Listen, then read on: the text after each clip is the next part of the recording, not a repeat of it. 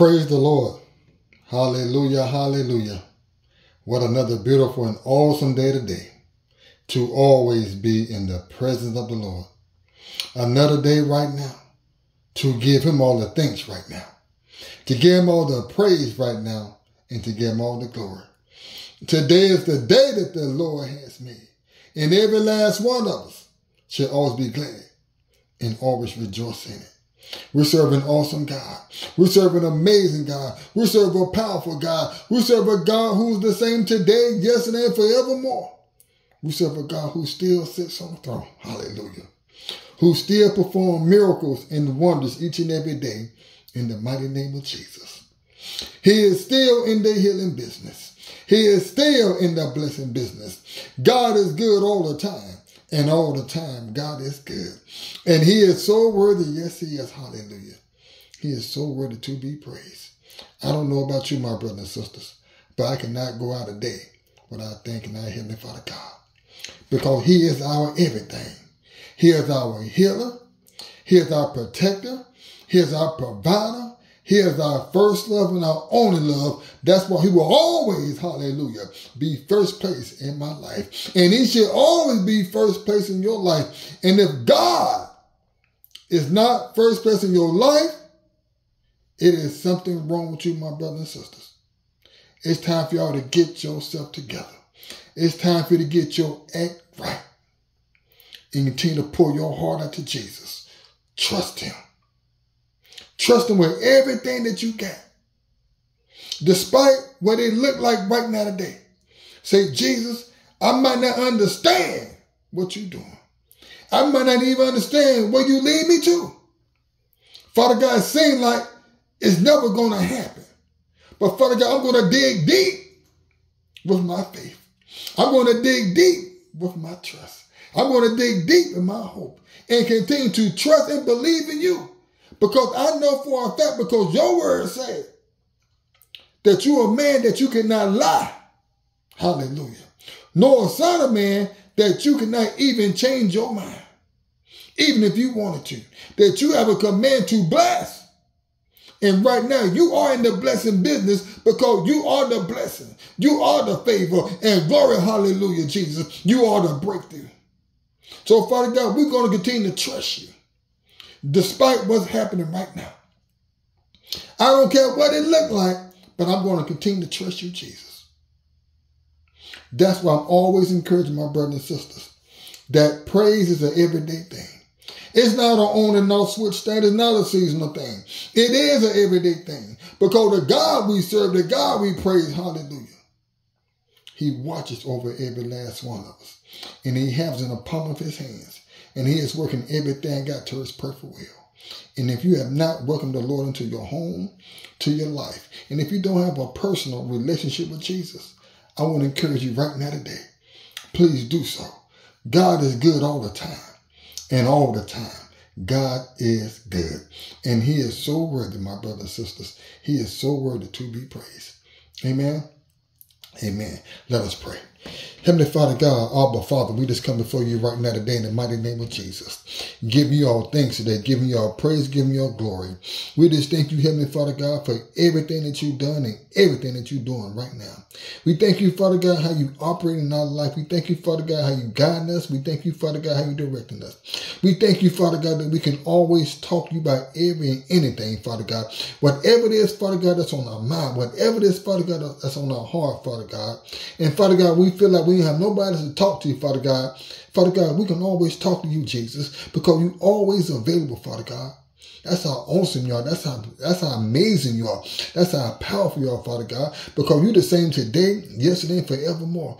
You never change this, Father God. You always keep it real, Father God. And you always honest, Father God. And you always there, Father God. It is you, Jesus, who got our back all the way to the very end, Father God. Nobody but you, Father God.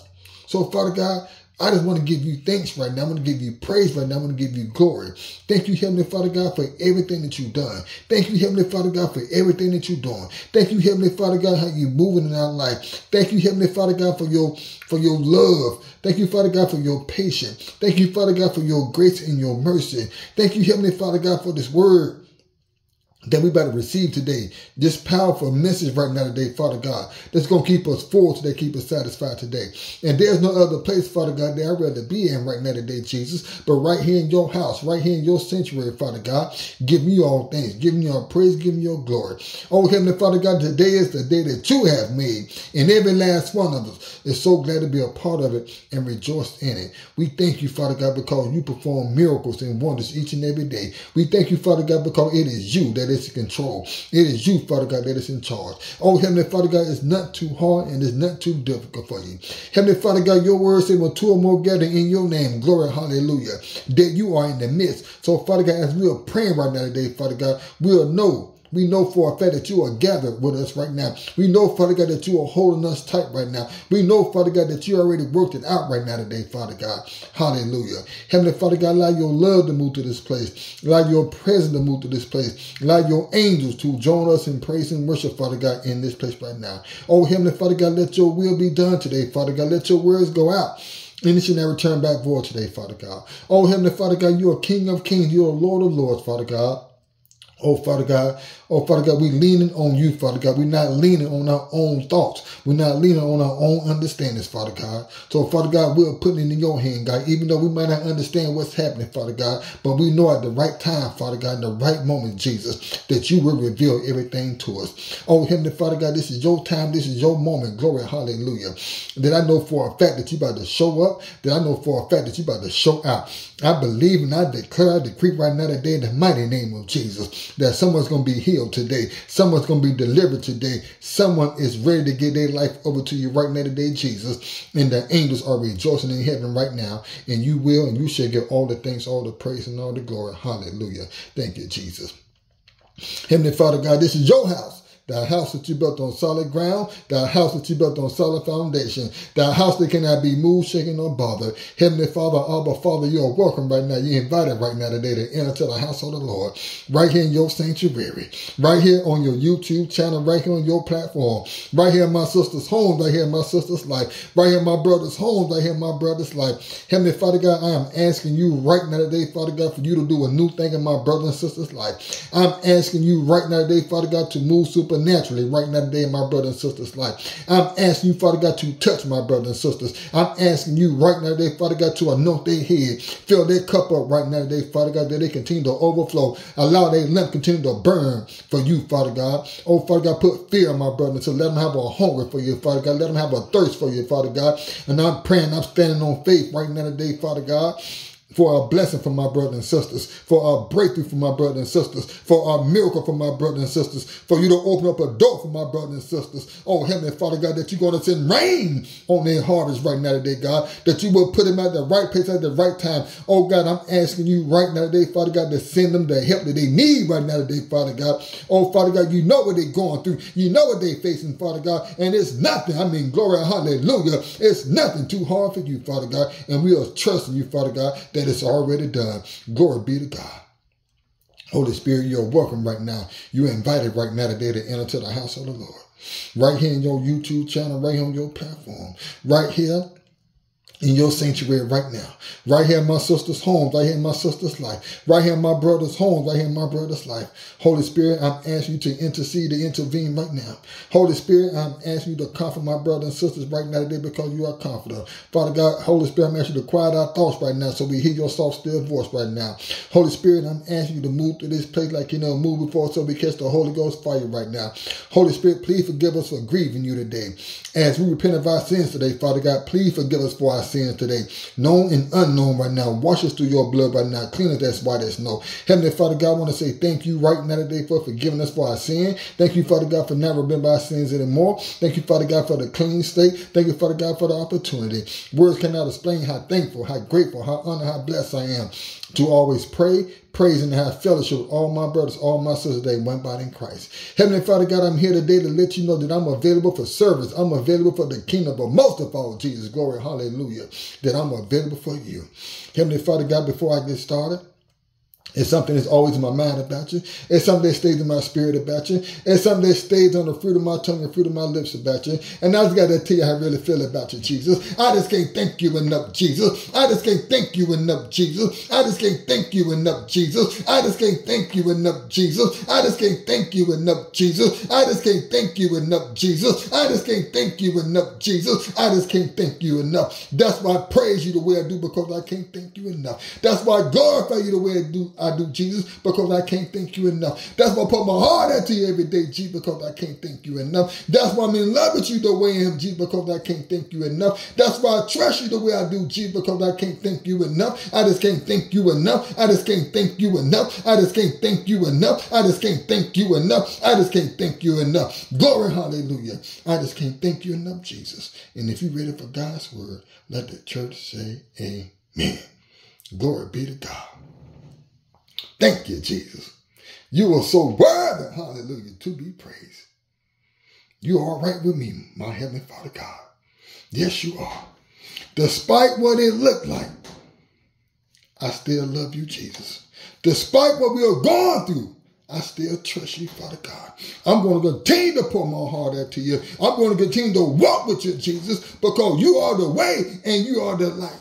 You got everything worked out, Father God. Even though we might not see it, Father God, but it's already done and it's already complete. Thank you, Jesus. Hallelujah. Today's word is another one bites the dust. And what I mean by that, my sisters, what I mean by that, my brothers, and you know exactly who you are. If you haven't seen it yet, you better be you better be in the shock of your mind because God has set the right people in your life. And you pass on that brother, my sisters, thinking that brother was not the right brother for you. You thought because he wasn't doing this, he wasn't doing that. He wasn't the right one. You didn't realize God sent you your king.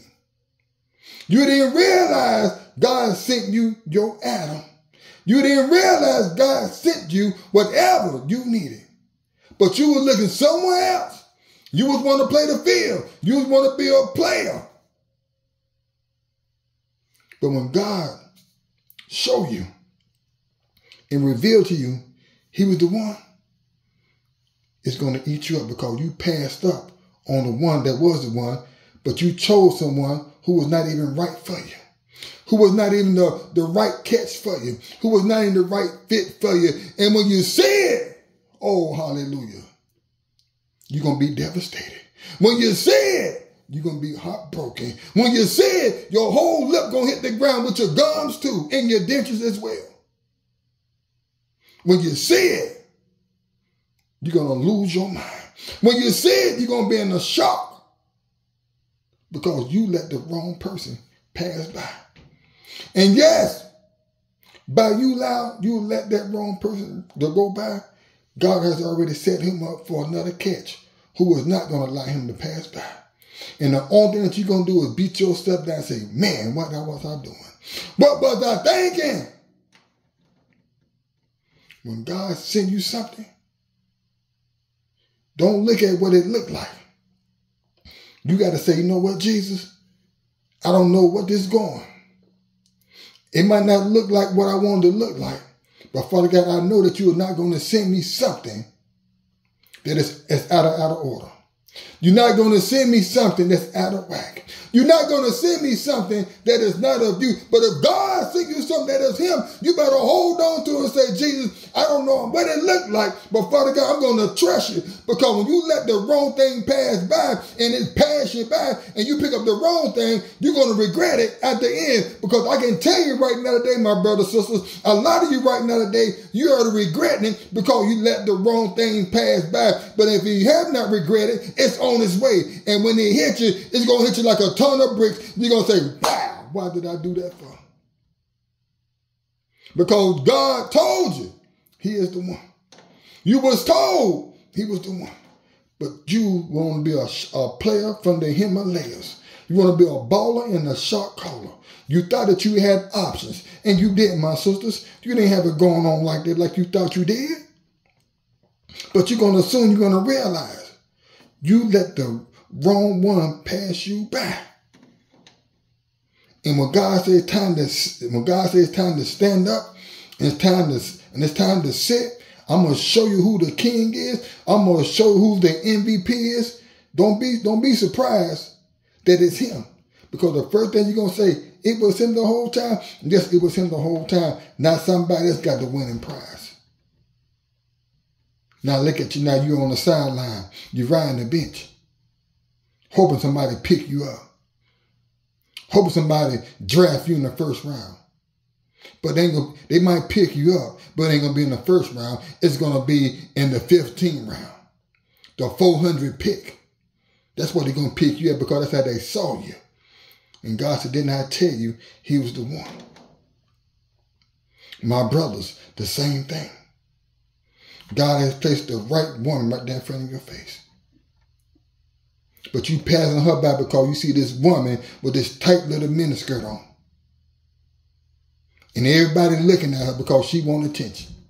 You chasing after that when the right thing is right there in front of your face. But when she passed by, oh hallelujah, and God reveals to you who she really is. Oh, and she gonna be a catch. Because trust me, Somebody praying for that woman right now. Somebody praying and begging God for that sister right now. But when the right person catch her and you and you let her pass by, oh Lord, you're gonna be sick to your stomach. You're really gonna look like Olive Oyl. And spinach is not gonna do you no good at all. Because you're gonna look at that sister, you're gonna say, Man, I had her. My mother told me she was the right one. I had my homeboys told me she the right one. I had my grandma told me she the right one. But I was too busy trying to think I had it going on. I was too busy trying to be a player. I was too busy trying to trying to see can I scout something else. God give you something. He don't make no mistakes. It is you, my sisters. It is you, my brothers, who made the mistake. And a lot of y'all right now today, you're going you about to face that regret right now. That regret is going to hurt you worse than what you pass on. That regret is going to hurt you worse than what you pass by. Because you're going to think about what you had. And that regret is going to eat you. It's going to eat you. It's going to eat you alive every single day because you're going to think about it. Not only you going to think about it, it's going to be so many people going to throw it in your face. They're going to say, wasn't that the one that you passed on? Wasn't the one that you really had? And you kept breaking up with him? You kept breaking with her because you were so confused? Because your mother said that? Because the devil said that? And it, that was going to hurt you the most. Because you passed on the wrong, the right person and you chose the, the wrong person. That was going to eat you up because you're going to be sitting there struggling when the other person that you passed by going to be winning winning at the winning at the winning, and you're gonna be on the sideline losing at the losing at the losing, and the only thing you're gonna say is, man, why did I listen? Why did I why did I pass that on? Why did I give up? Why did I put up a fight on? Why did I question God? Why did I doubt God? Why did I question myself? Why did I doubt myself? Why did I allow the enemy to whisper my ear and say, no, they ain't the right one? When I know deep down in my heart, God sent that man to me. When I know that's the right woman that God sent to me. Some y'all have passed on jobs that's been right there. Passed on. I don't want that. I'm going to go over here because they pay $2 more. Yeah, it might pay two dollars more, but you didn't realize it was a it was a contract job. Yeah, it might pay two dollars more, but guess what? You was not going no higher because the cutoff the cutoff rate was exactly where it was. Some of y'all passed on friends, friends that's gonna help you, friends gonna push you, friends that had friends that had connection. Oh no, you ain't want that friend. You want you want the friend who who don't want nothing out of life. You want the friend that still want to drink and smoke, want to, want to party all day long. That was type of friends you want. And you realize this was the friend. Now look what this friend doing right now. Look how this friend is helping other friends right now. And look how that regret is eating you up right now. Some of y'all tossing and turning right now, and you losing weight because you passed on the right person that was right there in front of your face, and you're regretting it. Because best believe somebody throwing in your face, somebody saying, "Remember so and so." Oh, but they doing good now. Remember so and so? They got this right here. Do you remember so and so? Oh man, you should have seen how they look right now. And the only thing is, gonna go to the back of your mind, you know what? I had so and so, but I passed up on. If you haven't seen it yet, it's the only way. Because God gonna show it to you. God gonna show what you passed on. He's gonna reveal it to you. And he, he, he he's not gonna open his mouth. It's gonna be the people that you that you that you chose that's gonna run their mouth and say, you know what? You you chose me over him. You chose her over me. This what you had? Man, you must have been stupid. That was me, I wouldn't even chose you over me. They're going to throw it in your face. So there's no need to get mad about it. There's no need to crying about. There's no need for you to go tell your mother and your father, say, please go call so and so. I want him back now. I made a mistake. It's going to be way too late. Because you had him, you had her, but then upon your hand, but you let it pass by. You thought God made a mistake? He didn't make no mistake. You made a mistake. And you're going to regret what you passed up on. Trust me, you're going to regret it, what you passed up on. You're going to think about it every single day. It's going to eat you up like lie every single day. I promise you, my sisters, it is. I promise you, my brother, it is. And trust and believe you're going to have a lot of people that's going to throw it in your face every time. They're going to remind you how good they're doing. They're going to remind you what God is doing in their life. They're going to remind you how they're winning. They're going to remind you how God is shining on them. They're going to remind you. And the only thing you can say, that could have been me. Could have, would have, should have. It's gone now because you passed up on something that was right there yours. God delivered it right there to you. Say, here it is. You can't see you that freaking blind. It's right here. But you allowed the enemy to come in and whisper in your ear. You were looking at things from the outward appearance. God was looking at the heart. God knows the heart. You don't know the heart, my sisters. You don't know the heart, my brothers. God does. You asked somebody who was willing to help you and your kids.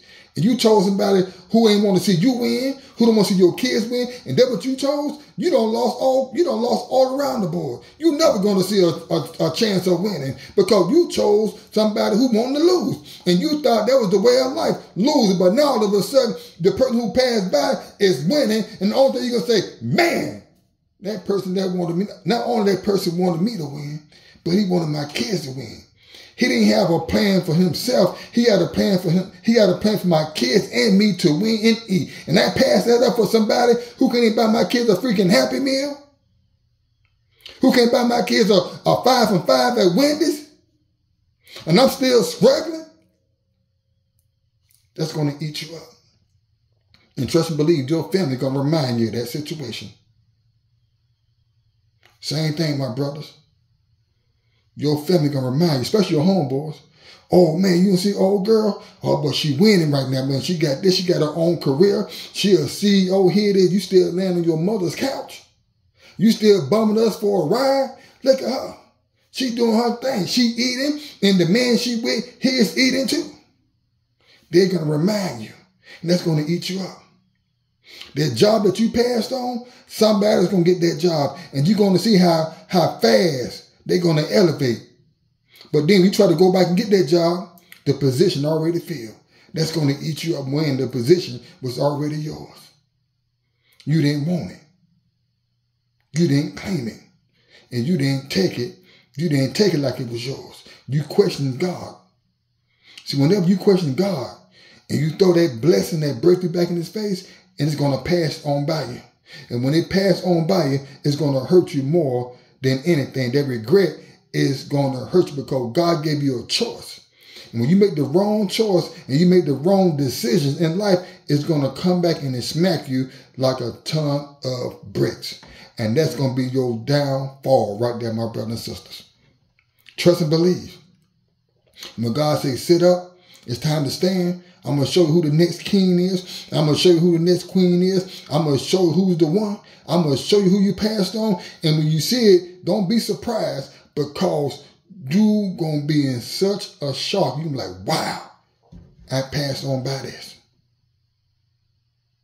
You passed on something that was right, rightfully yours. And you're to regret it. You're to regret it. Let's turn our Bible to 1 Samuel 16. And we're going to read verses 7 through 12. That's 1 Samuel 16. And we're going to read verses 7 through 12. And if you have your Bibles open, let the church say amen. Glory, hallelujah.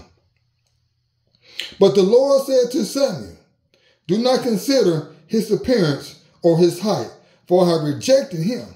The Lord does not look at the things man look at. Man look at the outward appearance, but the Lord looks at the heart. Then Jesse called Abinadab and had him pass in front of Samuel. But Samuel said, The Lord has not chosen this one either. Jesse then had Shammah pass by, but Samuel said, Nor has the Lord chosen this one. Jesse had seven of his sons pass before Samuel. But Samuel said to him, The Lord has not chosen these. So he asked Jesse, Are these all the sons you have? Do you see how Jesse was passing by his the son that Jesus has already chosen? Him by. He said, It's got to be him right here. And when the Lord told Samuel, it ain't him neither. So he had another son to pass by. And the Lord told Samuel, it ain't him neither. So Jesse said, well, it got to be this right here. And the Lord told Samuel, it ain't him neither. So Jesse said, it got to be him right here. And he passed by, and the Lord said, it's not him either. Do you see how Jesse was passing, passing up the one that God said was the next king? Do you see how Jesse was passing by the one that Je- what God was saying, here's the next one in line who I have chosen? See, be the people who you know is going to pass up on you. It's the people who God had put in your life that God, they will pass by on you. See, Jesse didn't realize that God has already chosen a king in his bloodline. Jesse didn't realize that God has already chosen the king, which is his son, to be the next big thing, but he didn't see it that way. He, he was passing up his own flesh and blood and said, no, it can't be him. He was going to choose everybody else and overlook everybody but not the one that God put it right there in front of his place. And that is exactly what some of y'all are doing right now today. That is exactly what some of y'all have already done today. And now you are facing that regret when God said, this is the one. God did not make no mistake when he put, when he made David the son of Jesse. But Jesse questioned God authority. He was questioning God. Because if he didn't, if he believed God, he would have said, okay, then let me all my sons pass by. He picked every last one of his sons. What the Bible says? He had seven of his sons. He chose six of them. He said one of them can't be it. But he, he, automatically, he automatically knew that six of them, but one out of the six was going to be the one that God chose. But God said, no, out of the seven, it's one. But do you see how Jesse passed up, was going to pass by the one that God chose, but God was never going to allow the one that he chose to pass by. He wanted Jesse to see who was the one. He wanted Jesse to realize he knew exactly what he was doing. Are you following what I'm saying now?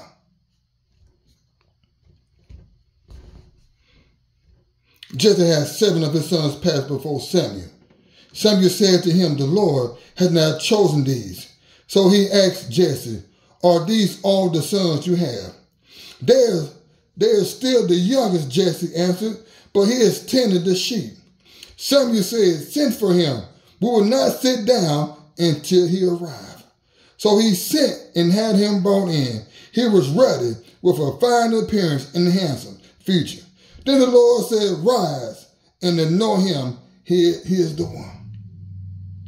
At some point, my brothers, at some point, my sisters, that one, the ones that pass you by, that pass you up, the Lord will say, Rise. And when the Lord says rise, they're going to see who they passed up on. They're going to see who they passed by. And they're going to see and say, now, you're the one. So at the right time, at the right moment, at the right season, you will be acknowledged, my sisters. You will be acknowledged, my brothers. And when they see what they passed on, what they passed by, their regret is going to hurt them. So another one bites the dust. They're going to be in their feelings and they're going to be hurt about the situation. And best believe they're going to try every anything to try to get back into your life. They're going to try every anything to call people that you know to say they sorry. They made a mistake. You made a mistake, my sisters. You made a mistake, my brothers. God didn't make the mistake. Another one bite the dust. You're going to regret who you passed by on. You're going to regret who you let get past your hands. Because when somebody else get him, when somebody else get her, you're going to see what God had in store for him and her. You're going to see it. You're going to realize it. And you will be affected by it. You can play hard all day long. But I believe and I declare you're going to see it sooner than later. I don't know who I'm talking to today. I don't know who this word is for today. But my brothers and my sisters, don't feel don't feel sad because someone passed up on you. Don't feel neglected or rejected because someone passed you by. And when Lord says time to stand, when everybody got to see you as the next king, when everybody got to see you as the next queen, next queen, when everybody got to see you rise and be the CEO or the CEO of who you are, they're going to realize they passed up on the wrong man. They're going to realize they passed up on the wrong woman. They're going to realize they made a mistake and they're going to regret what they did. And you're going to see how bad they're going to want to try to emerge to come back into your life. Get ready. They passed up on the wrong person. I don't know who I'm talking to today. I don't know who this word is for today. But God gonna say, it's time to stand. And they're gonna have to see you for who you really are. And if this word moved you today and if it touched your spirit today, go and hit Jesus like button. Go and hit the subscribe button too as well. Can you please pray with me? Lord Jesus, I ask of you to come into our life to guide us, direct us, use us. And I believe right now today in the mighty name of Jesus, by us praying that simple little prayer that God is already working everything God in our life right now today. And if you ever want to get in contact with me leave me a comment, my YouTube channel is withers.lt. Always keep Jesus first place. Always seek him, always honor him. Always keep your eyes focused on Jesus because he is the author and the perfecter of your faith. Continue to trust him even though you don't see things happening. Continue to hold on to his unchangeable hands and please continue to pick up your crosses and follow Jesus. Choose faith over fear. Always continue to pray for your fellow brothers and sisters. It doesn't matter if you know them. It doesn't matter if you ever seen their face. Prayer help and prayer changes things. I'm always going to continue to keep y'all in prayer, my brothers and sisters. The only thing that I ask y'all guys do for me is continue to keep me in prayer and keep me lifted up too. I'm seven minutes LT. I love y'all. Stay blessed. In Jesus' glory, holy mighty name. I love every last one of y'all. Amen.